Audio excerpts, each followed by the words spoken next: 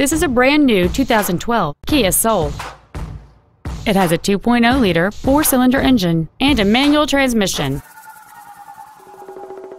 Its top features include a low tire pressure indicator, traction control and stability control systems, aluminum wheels, and satellite radio.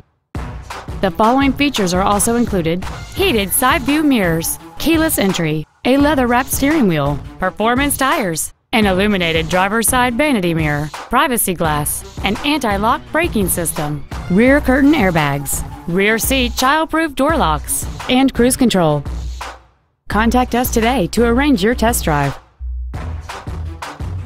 Miami Lakes Auto Mall is located at 16600 Northwest 57th Avenue in Miami Lakes.